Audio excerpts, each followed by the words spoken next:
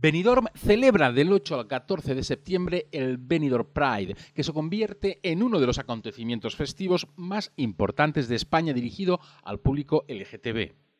Para el concejal de eventos Conrado Hernández hay que destacar el gran impacto económico que representa el Benidorm Pride y quiso dejar clara la apuesta del ayuntamiento por fidelizar a los asistentes para que también nos sigan visitando en otras épocas del año. Pienso que es el año de la consolidación que se va a poner en el mapa de las agendas de turismo joven, de un turismo muy específico que hace falta en Benidorm y por supuesto va a ser algo que va a ir creciendo, lo cual va a ser muy bueno.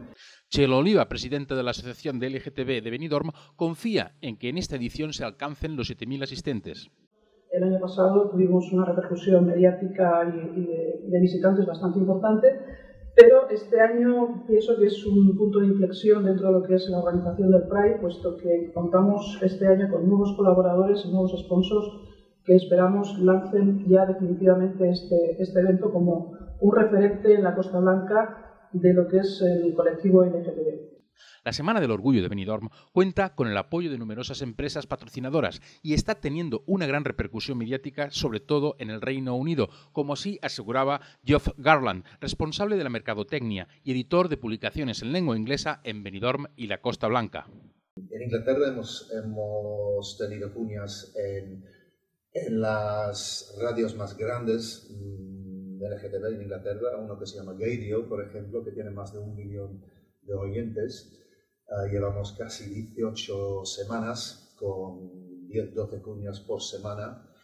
Hemos sido portada de Boys Magazine, que es una revista que tiene más de 20 años eh, en Inglaterra y es edita más, uh, o sea, circula más en el sur de, de Inglaterra, en Londres, en Brighton.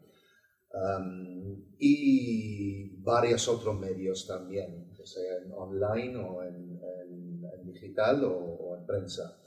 Aquí en España, uh, portada de Shanghai, que otra vez que es una revista uh, que lleva más de 20 años, tiene una tirada de 100.000 ejemplares en toda España y la segunda quince, la primera quincena de agosto, agosto uh, tuvimos la portada y un reportaje de cuatro, eh, cuatro páginas en el interior.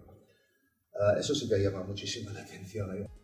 El acto central del Benidorm Pride será el gran desfile de carrozas, The Parade, el sábado a partir de las 16 en el Rincón de Lois, aunque las actividades darán comienzo el jueves 11.